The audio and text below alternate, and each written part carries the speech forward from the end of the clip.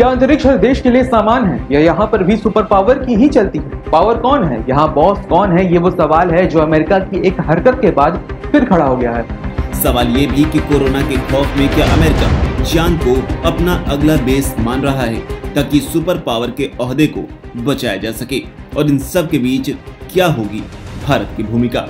दरअसल दोस्तों, जब दुनिया कोरोना के खतरे से खुद को बचाने के लिए घरों में कैद है और लाशों के ढेर के ढेर दफनाए जा रहे हैं तो इस बीच ट्रंप ने एक ऐसा ऐलान कर दिया है कि दुनिया एक बार फिर जंग के मुहाने पर आ गई है। इस बात का ऐलान ट्रंप ने बाकायदा एक एग्जीक्यूटिव ऑर्डर को साइन करके किया और ये वही कॉपी है, जिसे व्हाइट हाउस की तरफ़ से रिलीज़ किया गया है।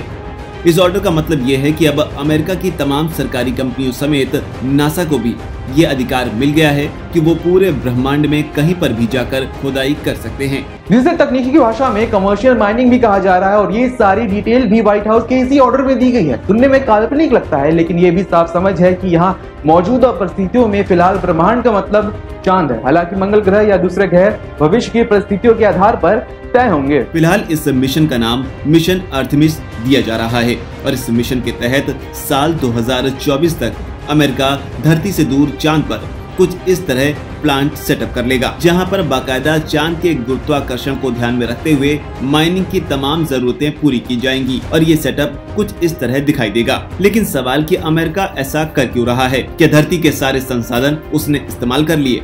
तो दोस्तों, आपको बता दें कि दरअसल यूएस ये मानता है कि अंतरिक्ष मानव जाति के लिए लीगली और फिजिकली हर मोर्चे पर एक ऐसा क्षेत्र है जो बाकी चीज़ों से बिल्कुल अलग है। और वो उसे ग्लोबल कॉमन्स की तरह नहीं देखता। लेकिन सवाल कि आखिर ये ग्लोबल कॉमन्स चीज़ क्या है? तो बता दें कि ग्लोबल कॉमन्स का मतलब इस पृथ्वी के वो तमाम ऐसी जगह जिस पर किसी एक देश का स्वामित्व नहीं हो सकता। जैसे अतः महासागर, अंटार्कटिक का एक बड़ा हिस्सा, या फिर साइबर स्पेस, या फिर आसमान का एटमॉस्फेयर, जो सूरज की तरफ़ से आने वाली खतरनाक अल्ट्रावायलेट किरणों से इस पृथ्वी को बचाता है, और इस पर किसी भी देश का स्वामित्व नहीं माना जाता।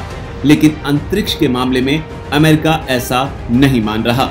यहाँ यूएस ने इस रिलीज़ ऑर्डर के ज़रिए ये साफ़ कहा है कि जो पहले पहुँचा, वो उसका। और वही यहाँ पर माइनिंग यानी कि खुदाई करेगा।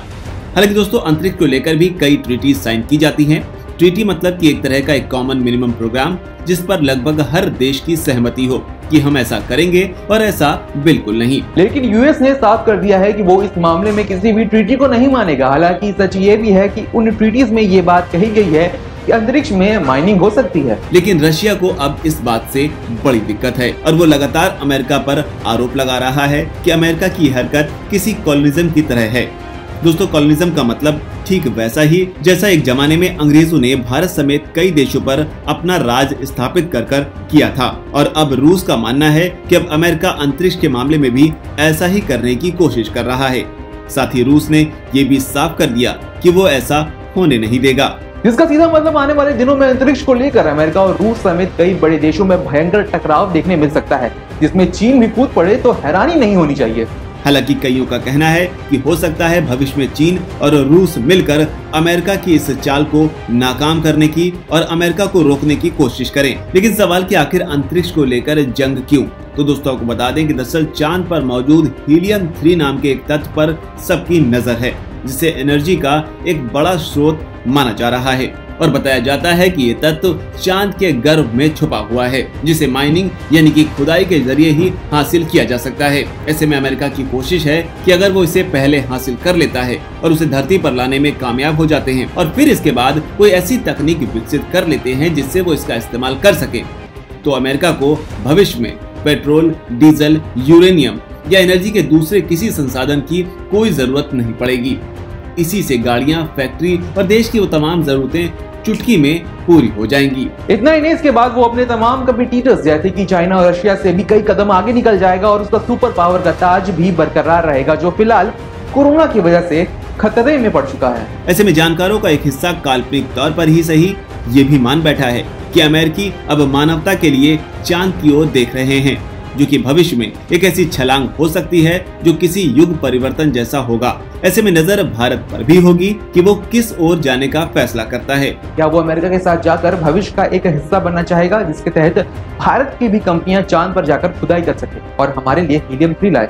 या फिर रूस और चाइना के साथ खड़े होकर विद्रोह का रास्ता चुनेगा? वो भी दिलचस्प होगा, क्योंकि भारत का स्पेस प्रोग्राम बजट और दूसरी चीज़ों की वजह से उतना मज़बूत नहीं तो इतना कमज़ोर भी नहीं कि इसकी आवाज़ को नकारा जा सके। फ़िलहाल दोस्तों, आपकी क्या राय है क्या भारत को अमेरिका के साथ मिल जाना चाहिए, जिसकी वजह से आने वाले समय में भारत में भी फ्यूल की चिंता को खत्म किया जा सके, जो अमेरिका की तरफ़ से लगभग तय ही दिख रहा है, या फिर भारत को रशिया और चाइना के साथ मिलकर अमेरिका का विद्रोह करना चाहिए। कमेंट सेक्शन में लिखकर बताएँ, इस वीडियो को लाइक करें, शेयर करें, चैनल को सब्सक्राइब करें। आपने इस वीडियो को यहाँ तक देखा, उसके लिए आपका धन्यवाद। नमस्कार।